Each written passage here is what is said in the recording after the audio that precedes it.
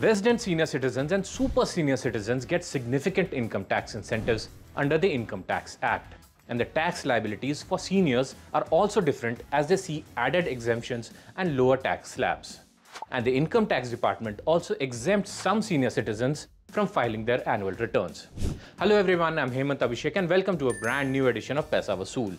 And today we'll discuss the tax slabs and calculations for senior and super senior citizens in detail. First, let's understand the definition of senior citizen and super senior citizen.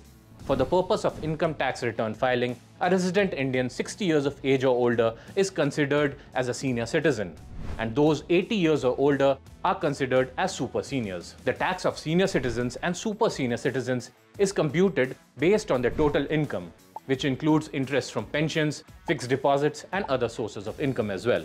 Also, the tax liability for senior citizens and super senior citizens can vary depending on whether they choose the old tax regime or the new tax regime. First, let's talk about income tax slab for senior citizens under the old tax regime.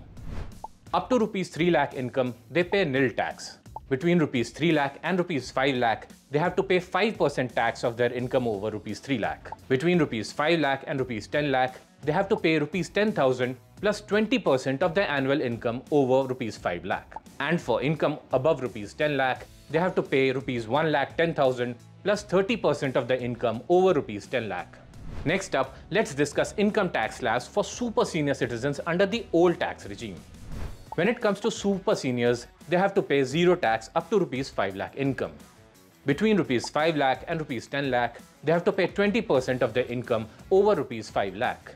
Above rupees 10 lakh, they have to pay rupees 1 lakh plus 30% of their income over rupees 10 lakh. Apart from the tax slabs, the senior citizens and super senior citizens are also required to pay 4% health and education cess on the total tax amount. Next up, let's discuss income tax slab rate for both senior and super senior citizens as per the new tax regime. The tax slabs for both senior and super senior citizens are the same under the new tax regime. For an income up to rupees 2.5 lakh, they have to pay zero income tax. For income between rupees 2.5 lakh and rupees 5 lakh, they have to pay 5% income tax. For income between rupees 5 lakh and rupees 7.5 lakh, they have to pay 10% income tax. For income between rupees 7.5 lakh and rupees 10 lakh, they have to pay 15% income tax.